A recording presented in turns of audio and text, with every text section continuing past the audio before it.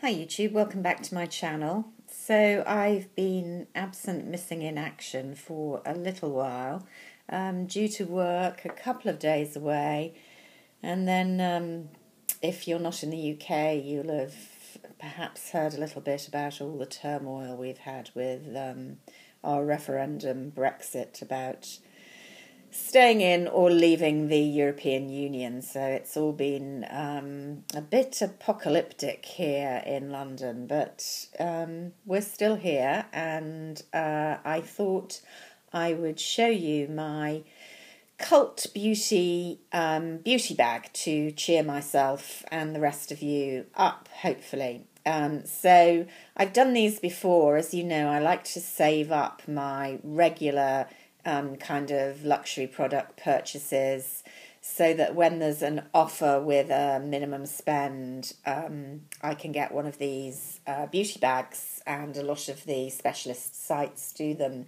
now. This one is Cult Beauty, which is a good site for particularly specialist skincare um, and newish products, predominantly from uh, the United States, but other places too, that are often harder to get um, away from this site uh, when they first become popular. So I think the minimum spend here was. Um, I'm going to say 110 pounds. I think that was it. So um, just quickly to show you what I bought in order to get it. I got two of these. They're the Aromatherapy Associates bath and shower oil, um, and this is the Deep Relax. They do them in various um, fragrances, and if you've watched some of my empties um, videos, you'll know that I um, I love this product. It's to me the best uh, bath oil for relaxing. I actually do think it works. It works for me anyway, and I've tried a lot over the years. It's fiendishly expensive now. I think when I started buying these, which is probably only about three years ago, my recollection is they're about £27 for the 55 mil, and they're now £45, which is serious money. Um, let me just show you what it looks like. I've got two of them um, to go straight up to £90. Can't even get the lid off. There we go. Um, I had opened the other one because I've been using it. So it's a generous um, 55 mil bottle, and I will say they do last for ages. You need just literally a few drops because they're very, very heavily fragranced. Um, and it's a really nice, um, relaxing one. This is the deep one for using in the evening. There is a lighter one as well, which is also very nice. So that I got two of, and then I just made up the extra with um, one of the Becca Luminous blushes. These are the newish blush highlight combined product from Becca, which I was keen to try. I picked out Foxglove from the website as a kind of cool pink. The first thing to say is it's a bit smaller than I expected. Um, six grams, 0.2 ounces more than enough for me because I don't think I've ever used up a blush before it's dried out. But um, definitely smaller than I thought. I don't know why. Really pretty shimmery shade. Haven't actually worn it on the cheeks yet. Very good pigmentation. It's coming off a lot lighter in my viewfinder than it is. There you can see pretty densely pigmented um, and a definite sheen to it. Um, so I'll report back when I've actually bothered to use it. As I say, I've been away um, and I was on a walking holiday um, in the northeast, so wasn't really into wearing a lot of makeup um, this last week since I got it. Right, to the beauty bag. So minimum spend 110, but hopefully a good value number of sample sized products that I will either use or give away or sell on eBay. So what have we got? First of all, oh, quite a nice um, pouch. That's a very generous size. Could definitely use that as a takeaway makeup bag. Uh, Cult Beauty. Quite nicely finished. Yeah, always in for black. Works for me. And what's this little fella? Okay, this is Laura Geller, um, Bronze and Brighten in Fair. Have used a couple of her products. I'm very fond of one of her highlighters. I think it's called Portofino, um, which I love using in the inner corner of my eye, probably my favourite kind of lightening. This is one of the baked products. It's a very gentle bronzer, that's the first thing to say, which is good for me. Yep, I could definitely use that. It's not too muddy, definitely not orangey, medium to warmish toned, but not too densely pigmented. So that's a good starter. And then I don't know how to pronounce these. Saka Juan. I've had one before. Um, Swedish professional hair care. This is the Color Save shampoo. So this is with Ocean Silk technology to create a healthy shine and protect your colour. So that's good. It doesn't smell particularly special. Uh, smells like a very generic um, cheap shampoo to be brutally frank, but we'll see how that works out. Then Well People Beauty Conscious Cosmetics. Never heard of this. Bio Brightener Invisible Powder. Universal Glow. Sounds interesting. Teeny, teeny, dinky pot. You know how I love these teeny things. Oh, and it's a teeny amount of powder, I have to say. But, um,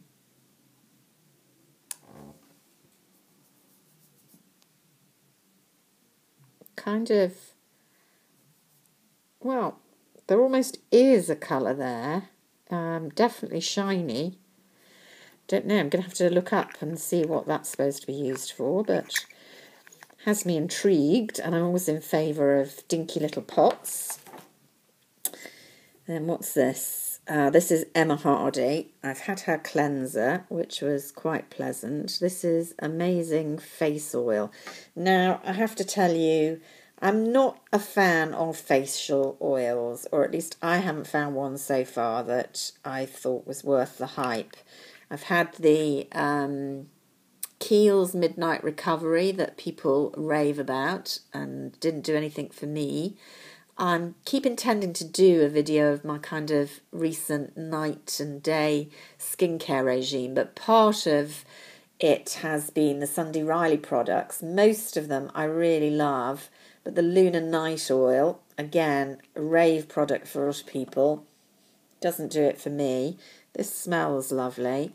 Um, and I've just finished a Tata Harper, um, another, uh, that's actually not um, a night oil as much as a cleansing oil, which um, I wasn't a huge fan of. So I don't know, maybe me and oils just don't really get on.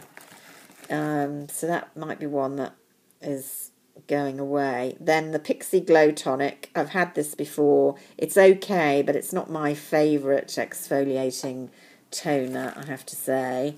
Um, but it, it is a perfectly good product. I just um, prefer other ones, to be frank.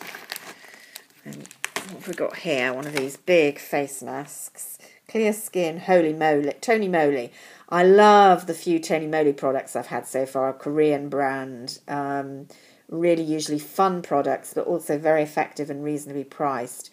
This is a clear skin rice face mask to transform dull skin. Definitely going to use that. Pleased to get that one. Then we've got a Kevyn Aucoin. Goodness knows what this is.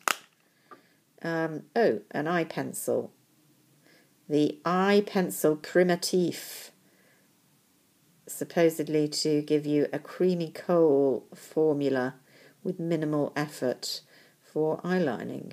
Okay, well, um, Chanel make my favourite eyeliners, but uh, always good to try something else. I haven't had brilliant experiences with Kevyn Aucoin. Then Caudalie Vino Perfect, the um, serum. I think I've had this before and uh, wasn't wild about it, to be honest. Um, Sonya Dakar Flash Facial Exfoliating Treatment. See results in one minute. That's a promise, isn't it? To reveal fresh young skin. Okay, never tried this before. Excited on that. I like um, I like me a good exfoliator. Here's Becca. I love some Becca. And this is the Evermatte Poreless Priming Perfector. Okay, well, this is what I need. I'm forever on the hunt for um, pore perfectors, although this one said to be a shine control. Shine isn't my problem. Um, rather large pores that my foundation sinks into if I'm not careful is. So this is an oil control primer, which isn't generally quite for me. Although it does say minimises pores, and that's what I need. So um, it will be useful to try that in a small size without investing in the full size. I will say I'm pretty pleased with my Tom Ford primer. Um, oh, we've got a supplement here. I love supplements. Nature's Living Superfood. Mm. What's this going to do for me? A green alkalizing whole food supplement. Okay. To be sprinkled on salads or mixed with cereals and desserts. Sounds exciting. Okay, that's something different to get in my beauty bag. Oh, and with that, some sparkling powder for glow skin. Now, I don't know whether you drink this or put it on your face. It's formulated with carbonated waters from France, clearing away toxins.